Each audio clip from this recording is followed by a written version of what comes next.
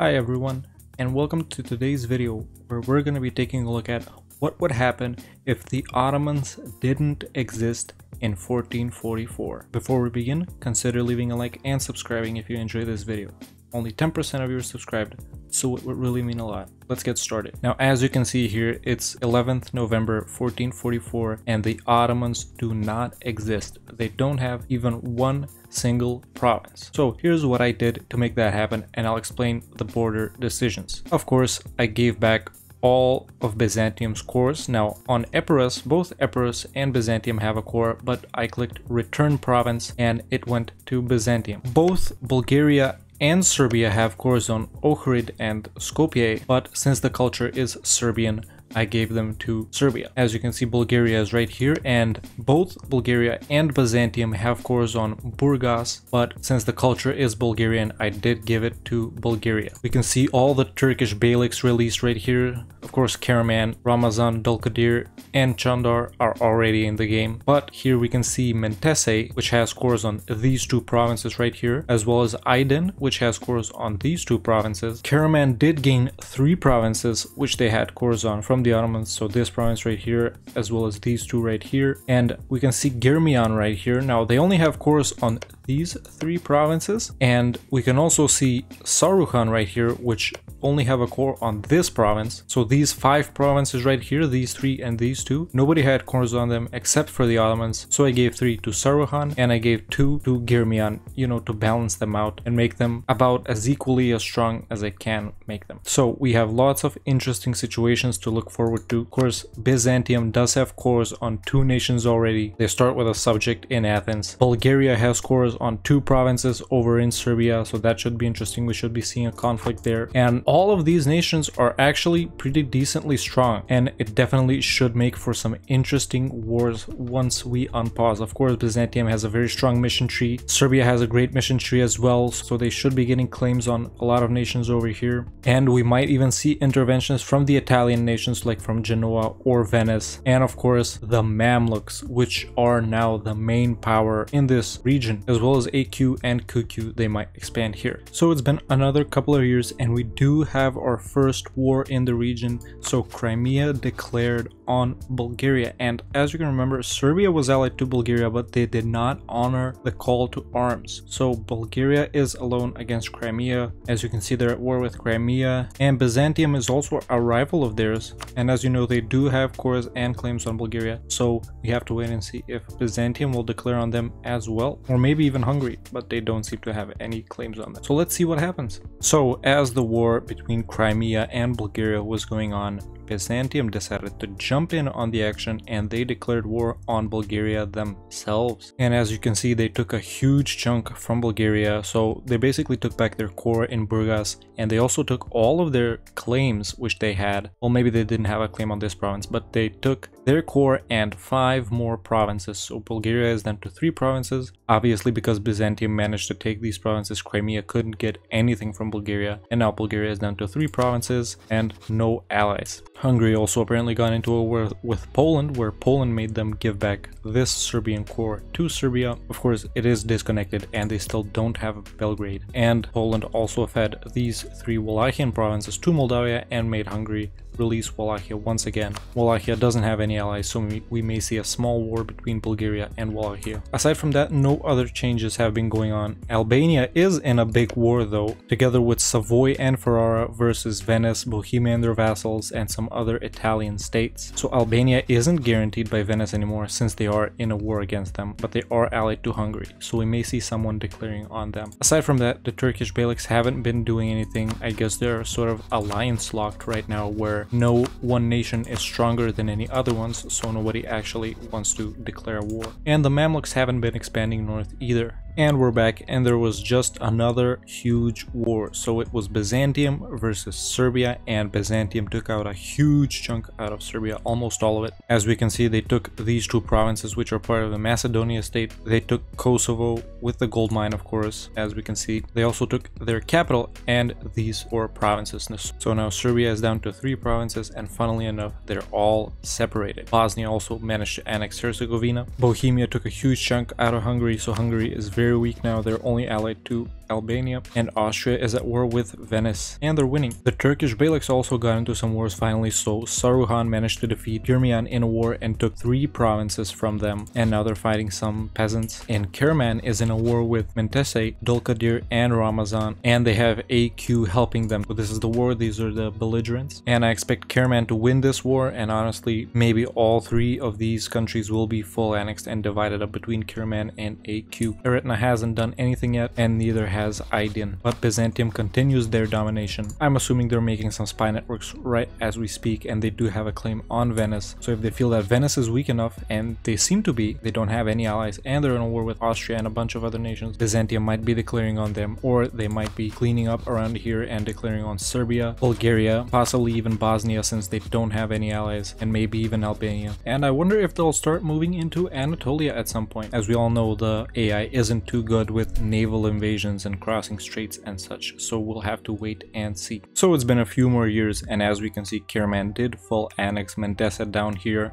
and they did also take one province from Dulkadir here, and AQ also took one province from them, so now they're down to two provinces. And Byzantium finally declared their reconquest war against Epirus. So now they're at war with both Epirus and Naples, and we can see that they already have landed an army in Italy. I don't know how they will fare against Naples' 12k while they're only 10k right here but they should be moving more troops soon. They are on the same tech. Now Castile did get their union over Aragon and they have Navarra of course. And they did just declare their unification war with Portugal. Now as you all know this is the enforced union CB Spain gets from their missions but they did declare on Portugal and of course they're gonna get it. Now me personally I've only seen Castile do this maybe once or twice declaring the unification war against Portugal from their missions so this is very rare. Maybe it will happen more in 1.31 since we are in 1.31 as you can see by the monument here. So we should expect a very very strong Spain in this game. And France is doing really well too. They've taken almost everything from England. Bohemia and Poland are crushing Hungary and Croatia is independent. Muscovy is doing pretty good and so is Uzbek and Oirat. Oirat are in a war against Ming, which Ming declared. And uh, the situation in India and Southeast Asia looks pretty normal. Portugal already have gone for exploration and expansion ideas, which means they will colonize for Castile. And Byzantium has taken trade ideas for their first idea group, a strange pick I have to say. So it seems like Byzantium and Karaman will emerge as the dominant powers in the Balkans and Anatolia respectively. Karaman has taken religious ideas, Saruhan is also pretty big, they have diplomatic ideas, and Albania managed to take over their entire state from Venice obviously, and Albania have taken economic ideas, and Bulgaria also. So none of these nations so far have taken any military ideas. Eretna actually has, they have defensive ideas. So yeah, we'll have to wait and see how this goes. I think that there is a chance Poland actually might declare on Byzantium now that they're in a war against Epirus and Naples, so we'll have to wait and see. Now it's the 1490s and Brandenburg just declared coalition war against Poland, so Poland just took over two provinces from Bulgaria, and apparently that was enough to trigger a coalition. As we can see, Hungary, Riga, Bohemia, Brandenburg, and Wolgast are in a coalition against Poland, and Brandenburg declared the war, and this is how the two sides look. Right now, Poland is losing by 48%, so we will see some shenanigans happen here, and Brandenburg might force Poland Poland to release some nations or give back some cores. Aside from that,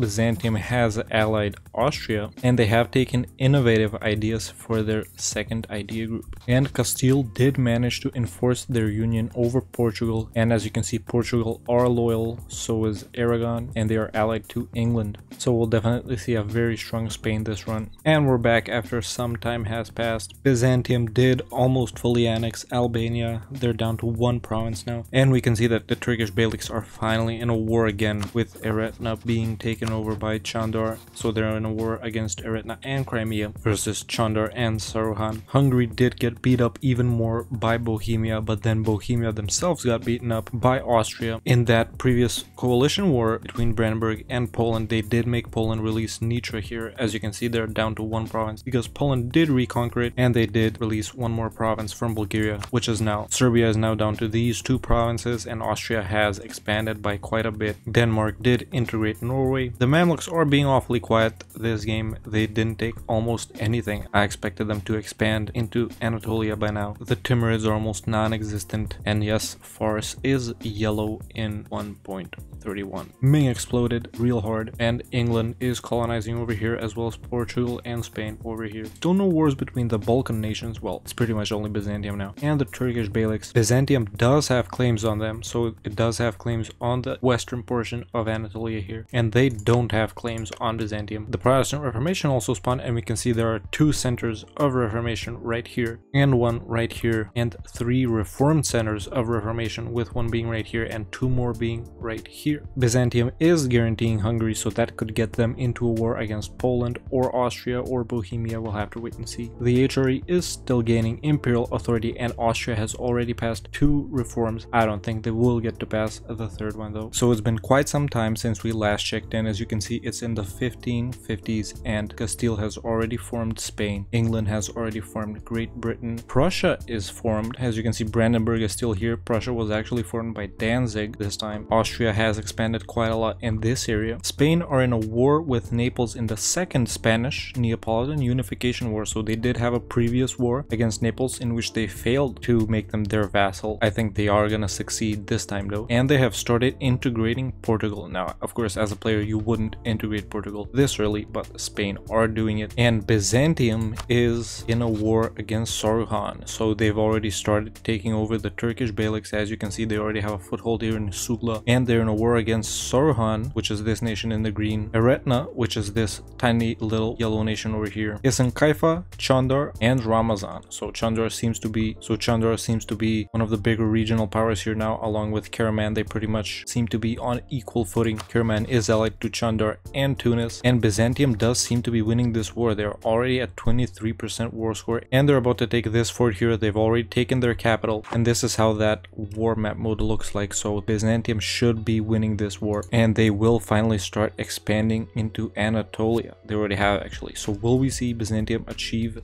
their borders which you need for the Basileus achievement? Let's wait and see. The Protestant Reformation is going pretty strong. As you can see, Reformed is pretty well represented here in Bavaria, as well as Protestant in North Germany, as well as some bits here. England, or should I say Great Britain, have become Anglican, and they are already pretty successful with colonization, establishing colonies in Colombia and Brazil, as well as Spain having some here and Portugal. Inca have formed, and the North American natives are looking pretty good, so Algonquin seems to be the biggest native nation, having land all over here. Great Britain and Portugal and Castile are establishing colonies, as well as Friesland. Elsewhere in the world, everything seems to be going as usual. Brandenburg is in a war against Prussia in the Brandenburgian conquest of Danzig. Now, because they both exist, I think there should be an event coming along here pretty soon, which gives Brandenburg a PU over Prussia, and then basically they will merge into Prussia. So let's see if that happens. Let's see if Brandenburg actually destroys Prussia and then becomes Prussia themselves. Poland seem to be chilling out, not doing a lot right now. And of course, Spain is the number one great power, followed by Great Britain, who have had their flag fixed in the 1.31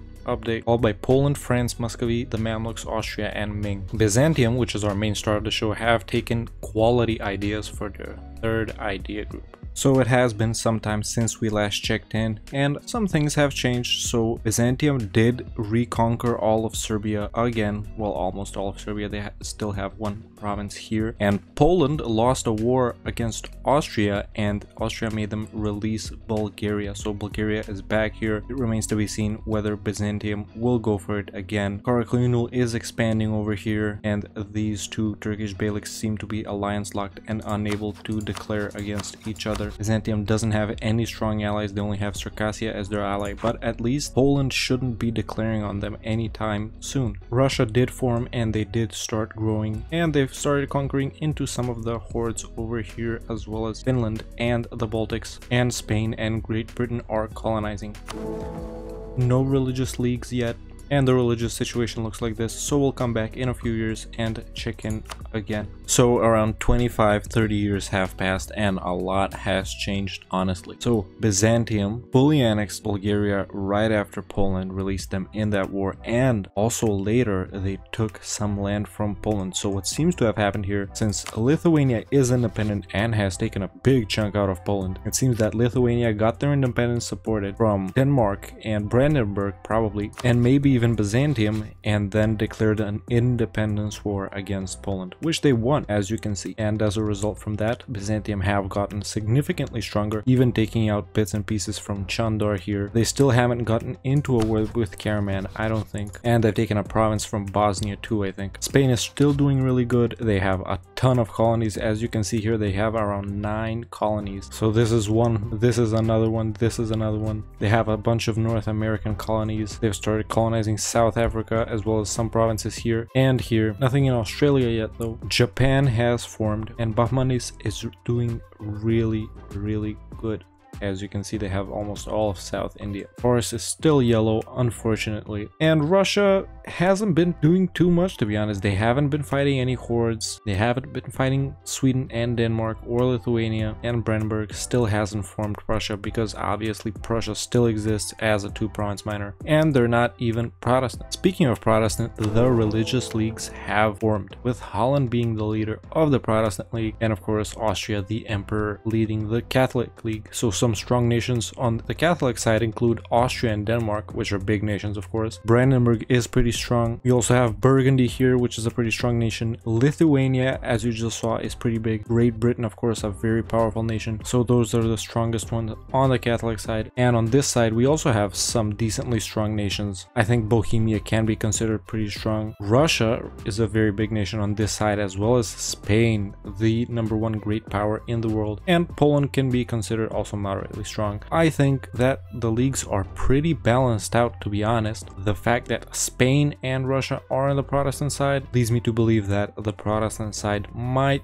come out on top. Although I don't think any side will be able to enforce their faith to be the official faith of the HRE and I think that if a war does happen, it'll just end in the Peace of Westphalia. So next time we're gonna come back in around 50 to 60 years and see how Byzantium and the rest of the previously Ottoman territories have progressed as well as the rest of Europe and the world and see how the great powers are doing. But Byzantium is number 8 now on the great powers. And another surprise here is Bahmanis and Ayutthaya. The AI so far doesn't seem to be upgrading or building monuments. Hagia Sophia is still at level 3 at least here. And if we can go and take a look at a wealthier nation like Spain, Alhambra is still only at level 1. And Great Britain have of course moved Stonehenge to London. So it's been a few decades now. As you can see, it's the 1680s. And let's take a look at everything that has changed. So Austria have managed to consolidate their lands even more here, taking some land from Hungary and Nitra is back. So Hungary is almost non-existent. They're down to three provinces over here. And Austria is pretty big as you can see. Switzerland has grown a bit too. And Byzantium has taken a chunk out of Chandar. And the Mamluks have also expanded a bit in this direction. Finally, the New World is almost fully colonized. As you can see in South America, Spain is dominating as well as some British colonies over here. And in the north, Spain is dominating as well. Denmark managed to form Scandinavia. Brandenburg doesn't seem to be any closer to forming Prussia, well, a strong Prussia, since Prussia does already exist, so they're not even Protestant. Of course, we are in the age of absolutism.